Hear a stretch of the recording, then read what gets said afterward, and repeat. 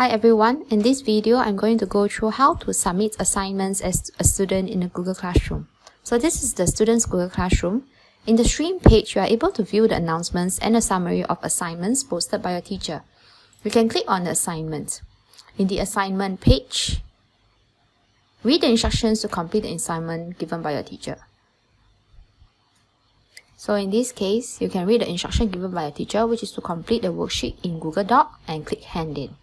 So in this page, you can post public comments if this has been enabled by your teacher setting. And once you have posted, this is viewable by the whole class.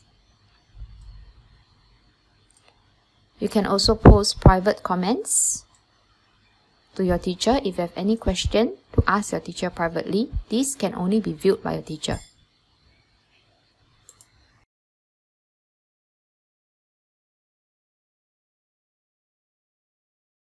As for the attach or create options, do not click or add or create unless it has been approved by teacher. Always go to your teacher to check whether you are going to add or create. Click on the assignments and complete the assignments as instructed in the page. So for example, this is the first type of assignment which is Google Doc. Complete the assignments, click Turn In. You can also go back to the assignment page and click Turn In to submit assignments. Click Confirm to turn in assignments.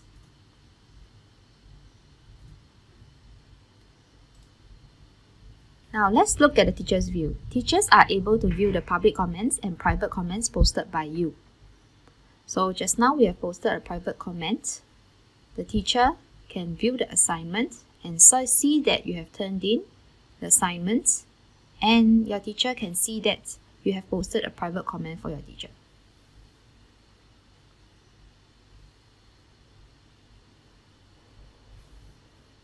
If your teacher has posted reading material, you are only required to read any attachment that is attached. There is no need to turn in the work. Your teacher may assign you Google Slides. The method of submitting of Google Slides are the same, which is to click into Google Slides, complete any instructions that are given by your teacher, go back to the assignment page and click Turn In, which is like the Google Doc that we have completed just now. So in this case, I'm going to follow the teacher's instructions to complete. Go back to the assignment page and mark as done.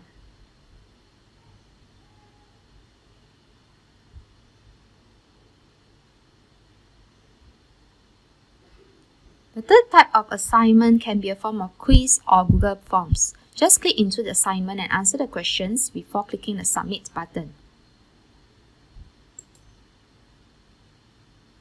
Fourth type of assignment is in question form. You will type your answer and click Hand In.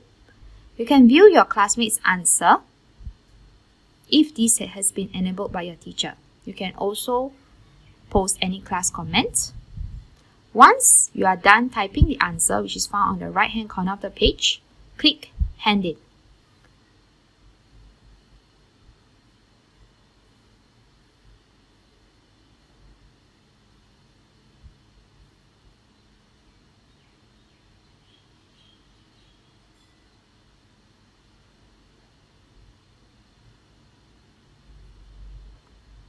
So you can view your classmates' answer, which is found on the top page, which allows you to either reply to your classmates' answer if this has been enabled by your teacher setting.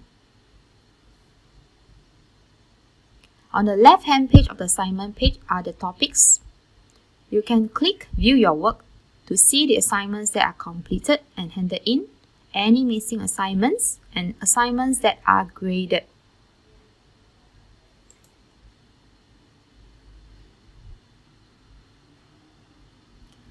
Google Calendar to view the due date of all assignments to help you to keep on track of the assignments that you have to submit. Make sure you submit all the assignments before the deadline. So you are able to see the assignments on, that are due on different dates. In the class drive folder, you can find all the documents in your Google Drive.